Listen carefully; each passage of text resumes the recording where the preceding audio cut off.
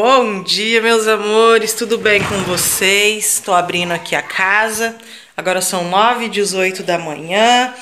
Acabei de levantar. É, tinha um tempinho que eu acordei, mas eu tava lá no quarto, mas não tem muito tempo não. Se tiver no máximo que eu acordei é uma meia hora, porque aí ontem eu demorei muito tempo para poder dormir. Porque eu tava assim, virava para um lado, virava para o outro. Só sei que eu fui conseguir dormir depois da meia-noite. Uma dorzinha de chata de cabeça, sabe? Aí hoje de manhã eu entendi o porquê disso tudo ontem à noite, né? Quem é mulher vai entender o que eu quero dizer. Hoje eu entendi o que foi isso. então, é, as meninas acabou de levantar também. E a Maria Faladeira aí querendo falar, me interromper. Vocês viram, né? Olha, eu fui assistir a, a, a soltar com essa aranha. Eu, faz, eu, eu de neta, fiz assim, daí eu falei, Ana, fecha o olho e abre a mão. Daí ela fechou o olho, daí ela me deu a tarde, daí eu fui assim nela. E ela assustou? Sim. Tá, bom dia. Bom dia! Bom dia, Fia. Bom dia. Tudo bem, gatinhas? Bom dia! Tá assim, né? A Ana, eu acho que se Deus quiser, hoje ela vai estar tá melhor. Porque ontem ela tava com diarreia, não tava muito bem, não. Tava com cólica intestinal, diarreia, meio com um pouquinho de enjoo, sabe? Mas hoje tá melhor, não tá, filha? Uhum. Graças a Deus, né? Talvez possa ter sido uma virosinha aí. Eu fiquei com o intestino meio virado também, o Edvaldo, a Maria também, que eu percebi que ela foi umas vezes a mais no banheiro. Mas pode ter sido uma virosinha que quis passar por aqui, né? Mas graças a Deus ela já já tá indo embora, já foi embora.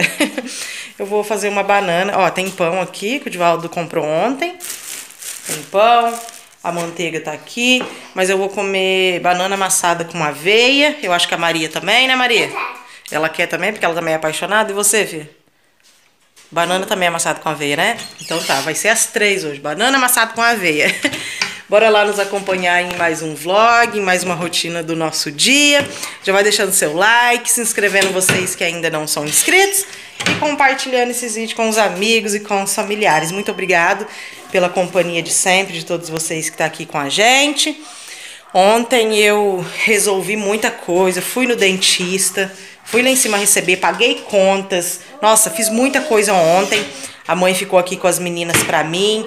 Aí à noite eu fui também no círculo de oração na igreja. Foi um dia corrido, mas foi uma benção.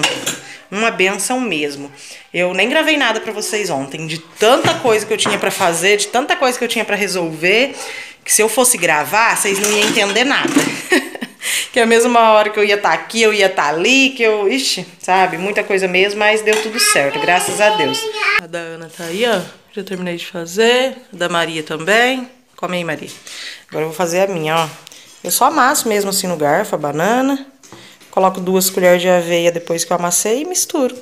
É gostoso também colocar é, a canela em pó. Mas eu não tenho, infelizmente. Acabou. Tem só canela em pau ali. Aí em pau tem pra fazer chá. Colocar os pedacinhos de pau de canela, né, filha? Na, na banana, imagina.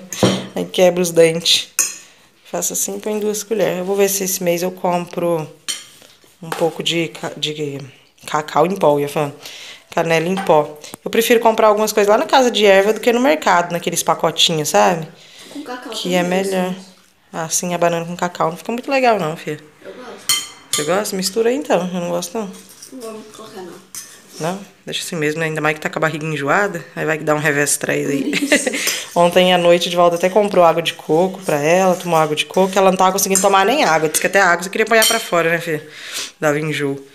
Mas hoje já tá melhor, graças a Deus. Deixa eu sentar aqui pra me comer também. E se despertar na vida, né? Na correria de dona de casa. Não pode brincar, tem que comer. A mãe não tá aqui porque essa noite passada ela dormiu no meu irmão. Ela ficou aqui ontem até umas quatro e pouquinho. Que foi quando eu cheguei em casa lá do centro. Aí assim que eu cheguei, ela foi. Daí eu acho que essa noite agora ela vai posar aqui. Aí depois de amanhã meu irmão já chega. Depois de amanhã, amanhã meu irmão já chega. Ai, tô com saudade dele, gente. Nossa, é tão estranho assim. Porque pra quem não entendeu, ele tá. Ele, meu pai e meu irmão tá trabalhando Tipo assim, gente, pra uma empresa, vamos dizer assim, para um, pra um homem que pega serviços e dá serviço para as pessoas, sabe?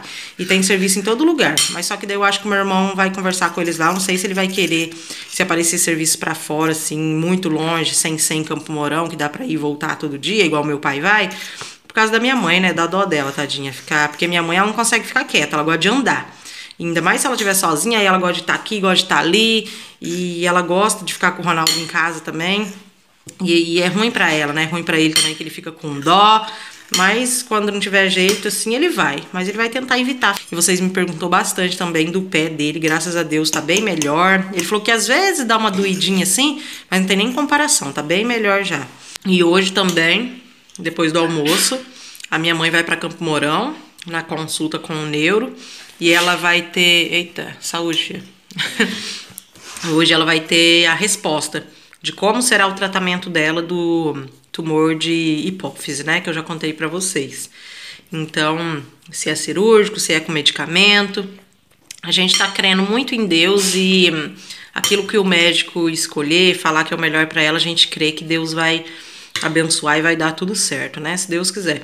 Aí mais tarde, quando ela for lá, eu conto para vocês. Ela, todo mundo, todos nós, tá torcendo que seja com medicamento. Mas tudo vai depender desses exames de sangue que ela vai mostrar pro médico hoje. Então vamos continuar crendo, né, gente? Porque seja, seja com remédio, seja cirúrgico, seja com o que for. A gente crê que Deus tá na frente de tudo, conduzindo tudo e vai dar tudo certo, né? Se Deus quiser. Aí eu conto para vocês mais tarde. Lembra que eu falei para vocês que eu tinha que trocar aquela blusinha amarela que veio cheia de bolinhazinha? Porque uma manga tava assim no braço larguinha e a outra apertadinha, ela tava com defeito. Só fui perceber em casa. Aí ontem, como eu fui lá em cima, eu passei na loja, troquei. E eu peguei essa aqui, ó. Achei bem bonita também, listradinha. Na frente, ó, ela acaba aqui. Ela tem mais essa pontinha aqui atrás, ó, que faz assim, sabe? Esse modelinho aqui, ó. E ela tá escrito: Você vale mais do que pode imaginar. Isaías 43, 4.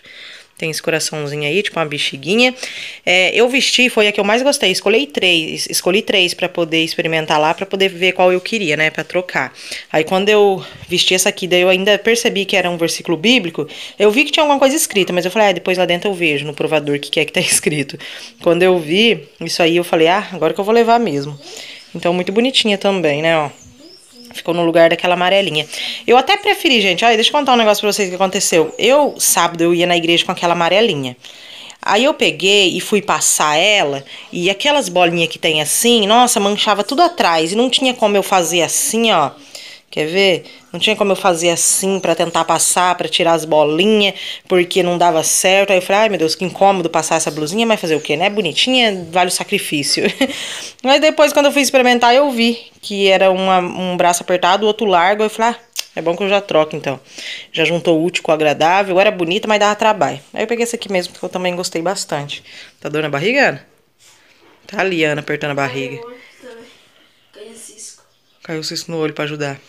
Aí, onde eu vou, as madame vêm atrás. Então a Ana vai fazer tarefa agora, porque ela não fez nem a tarefa de ontem, nem a de hoje ainda. Ah, se não fez a de ontem, vai ter feito a de hoje mesmo, né? Então ela vai fazer as duas tarefas, de ontem a de hoje, enquanto eu organizo e dou um jeito na casa.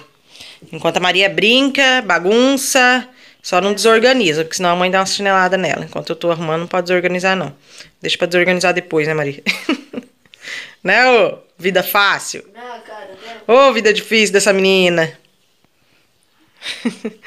E quando eu falo para vocês que a bolinha estrovava passar, que manchava, é que quando eu ia passar a parte de trás, como tinha bolinha na frente, aí a gente passava e ficava aqueles, tipo, um brilhando a roupa, e, e não tinha o que. Gente, eu tentei de tudo poder passar aquela blusinha fácil, eu não conseguia.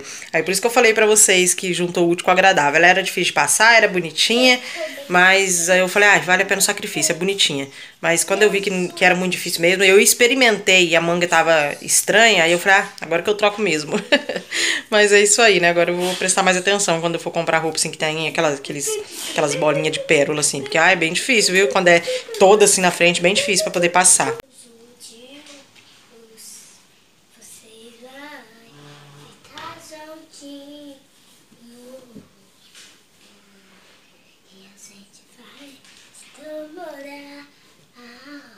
Deixa eu mostrar a casa aqui pra vocês, porque a Ana tá usando o celular pra fazer tarefa.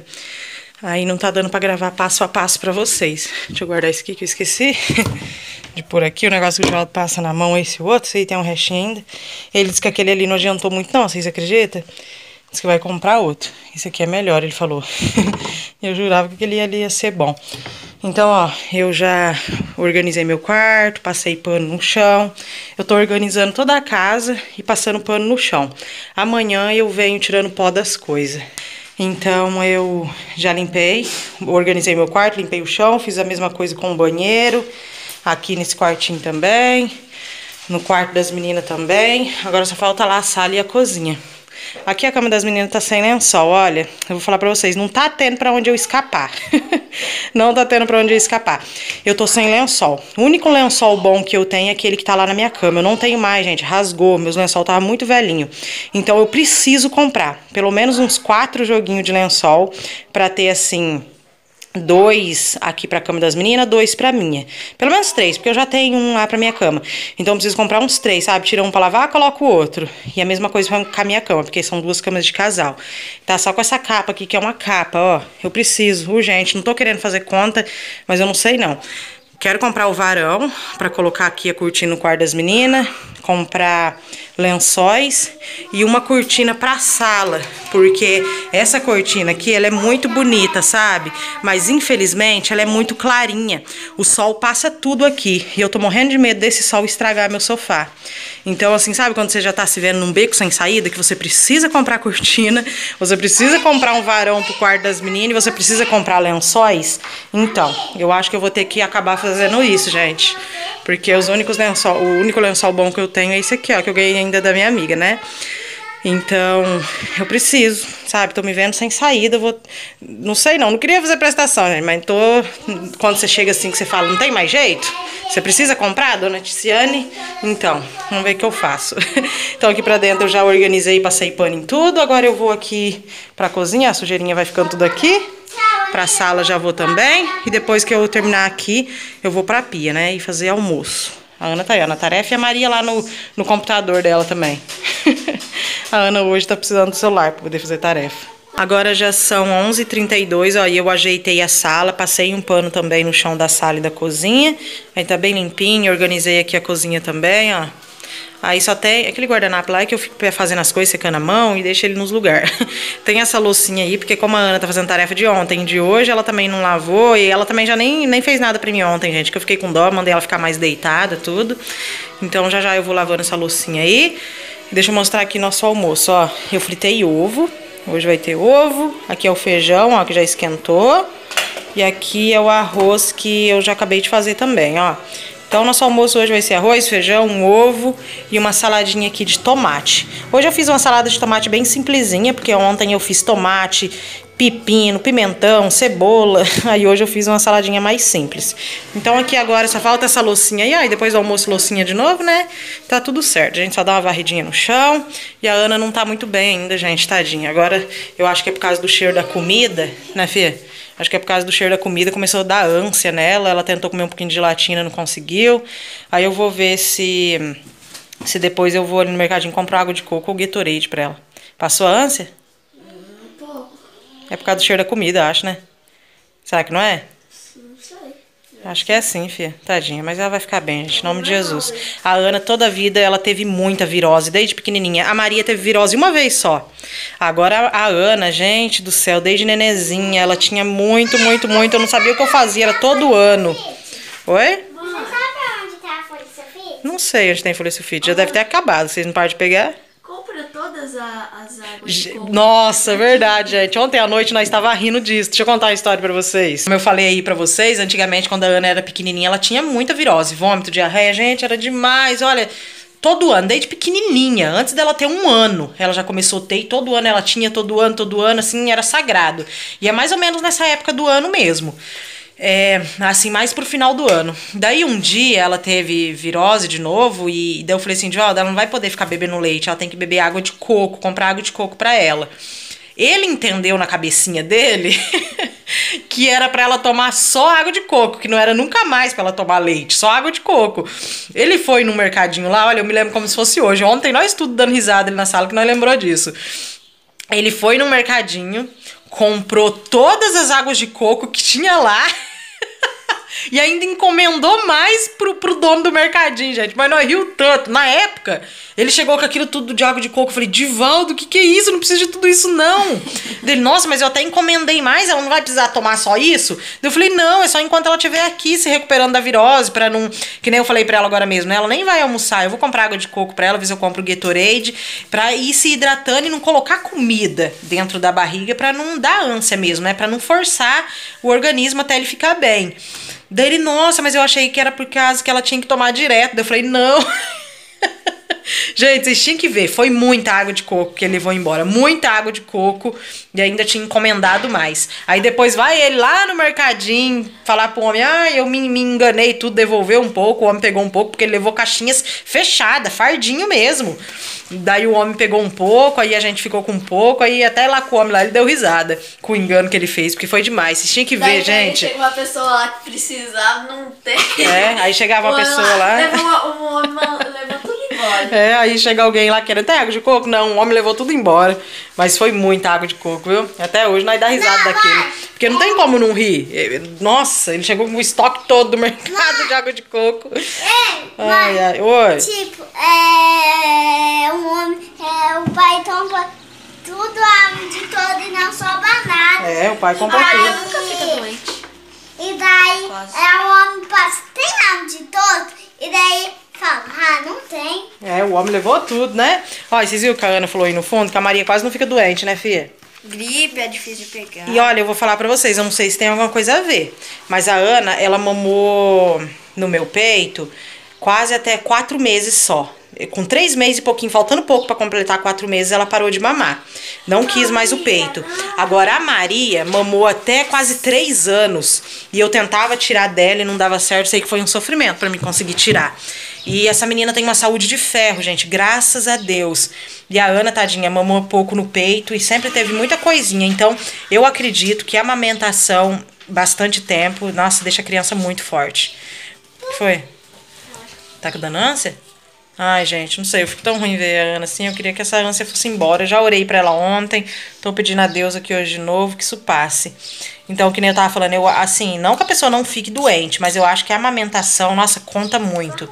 Muito mesmo, porque a coisa mais difícil do mundo é a Maria ficar doente. Né, graças a Deus. A Ana também. De um tempo pra cá sumiu bronquite. Nossa, muita coisa. Graças a Deus também a Ana tem muita saúde. Mas e fazia tempo que não dava virose, não sei assim, né, Fia? Fazia tempo também, gente, mas agora aconteceu isso, né? Mas fazer o que? É normal, é a vida. Logo você vai ficar boa, né, meu amor? Em nome de Jesus. Mamãe já orou, mamãe pede a Deus toda hora. Em nome de Jesus, logo você tá 100%, tá bom? Né? Deita aí, fica quietinha, que daí passa. Precisa se preocupar com nada da vida, não. Nem tem muito com o que se preocupar, né? Mas não precisa se preocupar muito, não. Eu já, já acabou todas as tarefas? Já vou mandar foto das tarefas dela e ela vai ficar aí quietinha. O almoço já tá pronto, agora só vou esperar o Divaldo chegar pra gente poder almoçar. Mas hoje ele vai chegar em casa um pouquinho mais tarde, porque ele foi de carro, daí ele vai do serviço lá pro centro, levar o carro pra arrumar, vai vir de a pé, vai almoçar pra voltar a trabalhar de bicicleta daí. Porque a gente não teve escolha, tivemos que levar o carro pra poder arrumar porque é o câmbio e a embreagem, gente, não tá bem, sabe? Ele tenta engatar e arranha e faz aquelas barulheiras e não quer engatar e não teve escolha, a gente teve que levar. Nós ia arrumar primeiro o soalho dele, mas agora apareceu esse negócio da embreagem, do câmbio lá, que eu não sei direito, e não teve escolha, teve que levar para arrumar. Então vamos arrumar isso primeiro, depois as outras coisas, né? Mas Deus vai abençoando que a gente vai conseguindo fazer tudo aos pouquinhos. E esse negócio de embreagem e câmbio não é barato, né? Mas que Deus abençoe que não fique tão caro assim também. Mas é isso aí, vou ponhei aqui ó, o celular para carregar. Agora tá carregando e vou ficar ali com as meninas. Vou lá conversar com a Ana. Depois eu lavo essa loucinha tudo depois do almoço. O Divaldo já chegou, a gente já almoçou, ele já foi trabalhar de novo e a Ana não comeu, coitadinha. Pegou só uma colheradinha, né, Fê? Pra não esforçar a barriga. Mas eu fui ali no mercadinho e comprei pra ela ó, um Gatorade desse aqui, de limão, sabor limão. Comprei duas águas de coco, ó, pra ela. E pra Maria eu peguei um todinho. Um todinho, porque ontem ela viu a Ana bebendo isso aqui e não gostou. Aí ela ficou querendo um todinho, né, Maria? Aí a Maria não tá com dor de barriga, mas ela tinha ficado, gente. Eu falei pra vocês, né? Que nós tudo, todo mundo aqui em casa ficou com a barriga meio estranha. Agora a Ana deu um pouquinho mais a barriga e deu até vontade de vomitar também. Ah, eu achei que isso já ia ter passado. É, aí eu peguei e lavei essas coisas, ó, já tá tudo Mas a lavadinho. é Lavei com sabão. de comer. dor de barriga é melhor que a ânsia, né, filha? Mas logo vai passar, você vai ver, logo você tá tudo boazinha já. Então isso aqui eu vou pôr na geladeira e ela vai bebendo depois. Bebe bem devagarinho, tá, filha? Pra não dar aquele, aquele baque assim no estômago logo de uma vez.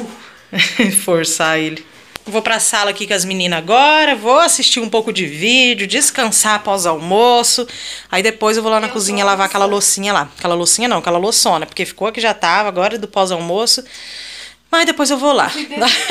A Ana sofrendo pra tirar o lacre, tira a tampa e ainda tem mais um lacre, ó. Eu fui Meu eu Deus. na boca. Que vida difícil, hein, Fia? Liga lá. Põe a TV no tomada pra nós. Vou assistir aqui um pouco. Depois eu vou lá pra aquela cozinha. Depois eu vou lá. Coloquei pause lá num vídeo que eu tava vendo. E vou fritar ovo pra Ana. Porque ela disse assim que nunca sentiu tanta vontade de comer na vida dela igual ela tá agora, né, Fia? Então ela vai almoçar. Que horas são? 1h18. Aí ela vai comer. Ela disse que melhorou bem. Em nome de Jesus não vai dar ânsia mais, não, né, Fia? Ela vai comer e a comidinha vai ficar guardadinha na barriguinha dela. então eu vou fritar o ovo aqui pra ela. Ela vai almoçar e deixa eu mostrar essa cozinha pra vocês como tá. Porque tá uma verdadeira bagunça.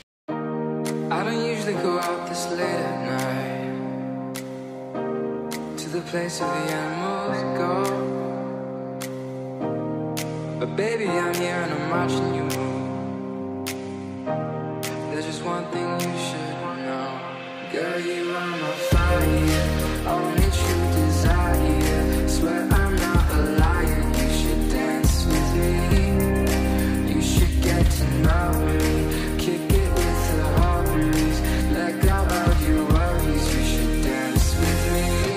Voltei aqui, gente. Agora já são 4 e 11. Ai, eu tô tão feliz, mas tão feliz que vocês não têm nem noção, gente. Que notícia maravilhosa. Que notícia maravilhosa. Gente, tô muito feliz. Glória a Deus. Deus é maravilhoso. Tô até com o rosto quente, de tão alegre que eu fiquei. Como eu falei pra vocês, hoje a mãe ia lá na consulta com o neurocirurgião. Ele viu os exames dela, ele falou assim que deu alterado, mas é um alterado que dá pra tentar tratar com o medicamento. E a gente crê, mas olha, mas a gente crê, crê tanto em nome de Jesus que ela vai tomar esses medicamentos que agora ela tem que passar pro, pro endocrinologista. E a gente tem fé em Deus, gente, que ela vai tomar esses medicamentos, o tumor vai diminuir, a visão dela vai voltar, a gente crê, sabe? Que, que a gente vai vir aqui ainda contar esse testemunho pra vocês. Que nem o doutor falou. O doutor falou assim, ó, dona Roseli, não tá descartado a possibilidade de uma cirurgia, mas a gente vai tentar o medicamento. Mas olha, só de ouvir isso já é uma vitória, já é uma vitória. Eu, a Ana tá aqui do meu lado, ela tava dando risada de mim. Ela gritou lá Eu fora. gritei lá fora de alegria, gente. Gritei aqui dentro, sabe? Deus é maravilhoso. Eu tive que colocar crédito pra mim poder falar com a mãe que eu não tava aguentando, querendo saber, sabe? Então aí ela me falou, foi até bom que eu coloquei crédito, porque ela, ela tava tentando, ela e minha tia, ligar pra mulher da saúde pra poder ir lá em Campo Mourão buscar elas e não tava conseguindo. Aí eu peguei liguei pra mulher, já mandei ir lá buscar elas. Então, olha, gente, gratidão a Deus, que notícia maravilhosa é essa? Eu tô muito feliz e eu sei que tem muitas pessoas maravilhosas aqui que me acompanha, que nos acompanha, que também tá muito feliz por mim, pela minha mãe, pela minha família. Olha, um super beijo, gente. Se eu pudesse, eu abraço a cada um de vocês que torce pela gente, a cada um de vocês que esteve orando, a cada um de vocês que tá aqui com a gente, que nos ama. Muito obrigado. Tá? Muita gratidão a Deus. Que Deus abençoe grandemente vocês em dobro. Tudo aquilo que você deseja pra gente, tudo aquilo que você torce pra gente, que Deus dê em dobro na sua vida, tá bom? Porque aqui na terra, gente, tem a lei da semeadura. E tudo que é aquilo que a gente planta, a gente colhe. E eu sei que se você estiver plantando amor, estiver plantando coisas lindas, coisas lindas você vai colher na sua vida. Então creia que Deus tem muita coisa linda pra vocês e muito obrigado, gente. Estou muito feliz. E, e eu acredito, em nome de Jesus, que essa cirurgia ela vai ser descartada, porque o medicamento ele vai fazer efeito. Minha mãe não vai precisar de cirurgia. Eu creio, gente, eu creio. E a gente ainda vai vir aqui contar esse testemunho pra vocês.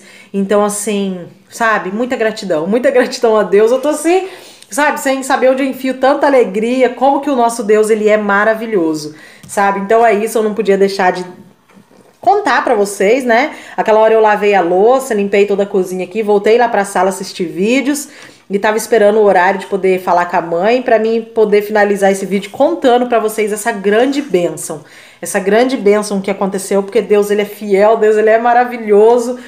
E vai dar tudo certo, gente. Eu creio. Em nome de Jesus vai dar tudo certo, tá bom? Eu vou encerrando esse vídeo de hoje por aqui. Eu espero muito que vocês tenham gostado, que vocês também tenham gostado dessa notícia, porque foi maravilhoso, né, gente? O que Deus fez e o que Deus vai continuar fazendo. Porque eu e minha mãe vai vir aqui contar para vocês ainda que com o medicamento tudo se resolveu, tá bom? Porque Deus ele vai completar a obra, eu creio. Eu não duvido e eu creio que Deus ele vai completar a obra. Tá bom, gente? Deixe seu like de sempre para mim, que me ajuda muito, que nos ajuda muito o like. Se inscreva, todos vocês que ainda não são inscritos, e compartilhe esses vídeos com os amigos e com os familiares. Um super beijo, que Deus abençoe grandemente sua vida, sua família. Livre vocês de todo mal em nome de Jesus. Tchau, tchau e até o próximo vídeo.